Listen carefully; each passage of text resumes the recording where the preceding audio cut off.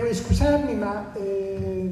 è una cosa brutta, ma leggerò, perché come capirete presto si tratta per me di un'occasione di grande importanza e anche di grande coinvolgimento emotivo e voglio dire tutte le cose che sento di dover dire in modo completo e preciso, senza correre i rischi che derivano dall'improvvisare. Allora, devo anzitutto chiarire che pur non essendo ufficialmente prevista dal programma delle manifestazioni pescasserolesi, la presentazione di questo libro è dovuta eh,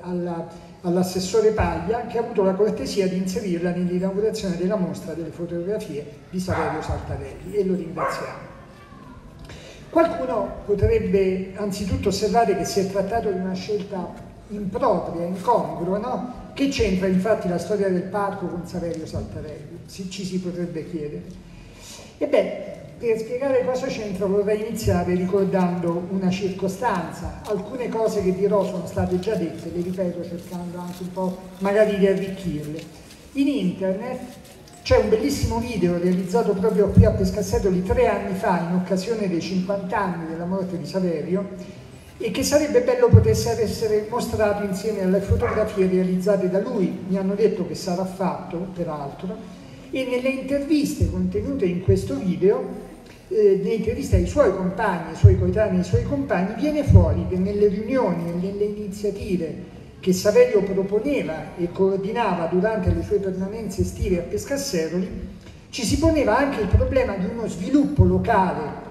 diverso da quello imposto all'epoca dalla speculazione edilizia e eh, viene detto in queste interviste anche che questi ragazzi si incontravano con i dirigenti del parco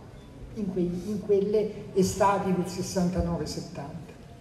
Questa circostanza in realtà io l'avevo appresa autonomamente già otto anni fa nel corso di un'intervista al direttore del parco di quegli anni, cioè Franco Tassi, che non solo mi aveva raccontato quelle riunioni eh, con i giovani, ma aveva voluto sottolineare in particolare il ruolo, l'intelligenza politica e la sensibilità di Saverio. In una delle interviste del video, invece, del video realizzato tre anni fa, viene citato da Carmelo D'Arcangelo il Movimento Popolare Alto Sangro, un gruppo di giovani che ebbe un ruolo molto importante nel cambiare il colore delle amministrazioni locali a partire dal 74, le prime elezioni furono nel 74, quelle cui, a Pescasseroli. E, e cambiare il, politico, il colore di queste amministrazioni e le loro politiche riguardanti l'ambiente e lo sviluppo dell'area. E Saverio Santarelli, eh, Carmelo D'Arcangelo, è stato in qualche modo all'origine di questo gruppo. Per quasi mezzo secolo, dal 70 beh, meno di mezzo secolo, dal 73, quando io ho cominciato a guardarmi intorno, a scoprire il mondo, diciamo così, eh, fino, al, 19, fino al, al 2020, per me Saverio Saltarelli è stato poco più che un nome, uno dei tanti, un nome noto, sicuramente, non sapevo chi era, uno dei tanti ragazzi e delle tante ragazze uccisi negli anni 70 durante le manifestazioni un nome come quello di Giorgiana Masi, come quello di Giannino Zibecchi, di Roberto Francesco,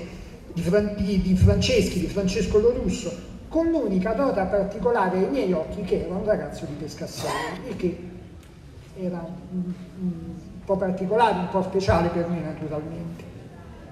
Invece sono stati proprio i materiali prodotti per il cinquantenario della sua morte, cioè tre anni fa, che mi hanno fatto conoscere un ragazzo, anche a me, è stato un nuovo Saverio quello che ho scoperto, un ragazzo molto particolare, un ragazzo di grande intelligenza, un ragazzo curioso, sensibile, dinamico e una figura trascinante a Pescasseroli e destinato sicuramente, io mi permetto di, di, di parlarne con grande certezza, forse la storia sarebbe andata diversamente, ma l'istinto la mia esperienza di tanti anni mi dice che Saverio sarebbe stato una certa cosa nella vita, destinato sicuramente a un'esistenza ricca e brillante. Ho cominciato in quel momento, quando ho visto questi materiali, a pensare che con il suo omicidio Pescasseroli, il parco, la valle, ma anche io stesso, abbiamo perso delle possibilità importanti, delle potenzialità importanti che la sua morte ci ha privato di quella che sarebbe stata una figura di riferimento assoluto per Pescasseroli e per la Valle. Sono sicuro, anzi, eh, che dalla metà degli anni 70 in poi Saverio sarebbe stato un protagonista di primo piano della vita politica pescasserolese e forse abruzzese, forse anche nazionale, come lo sono stati altri ragazzi della sua generazione della Valle. E lo sarebbe stato sicuramente anche, e sottolineo questa cosa perché è importante, fino ad oggi. Non avrebbe cambiato, penso io, idee, non avrebbe cambiato orientamento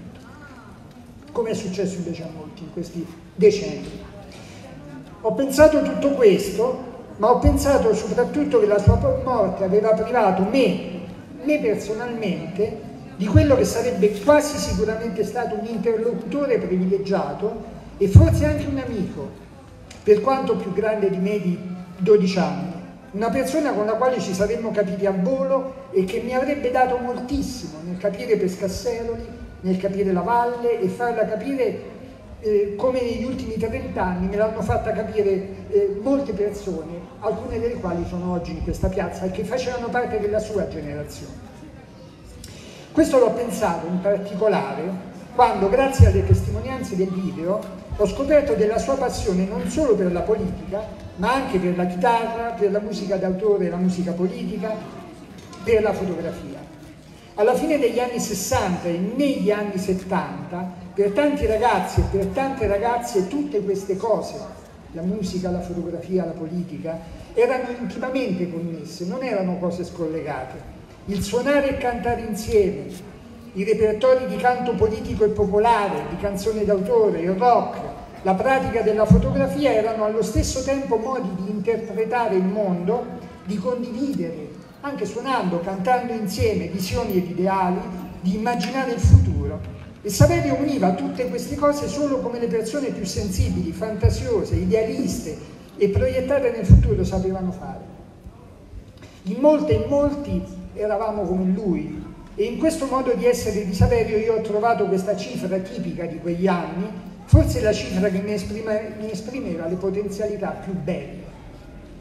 ed è tutto questo che mi dà la certezza che oggi sarebbe stato qui con noi, dopo una vita di impegno ininterrotto, caratterizzato da lucidità, coerenza e fantasia. Poi la storia ha le sue strade, io posso sbagliare, ma io penso di non sbagliare.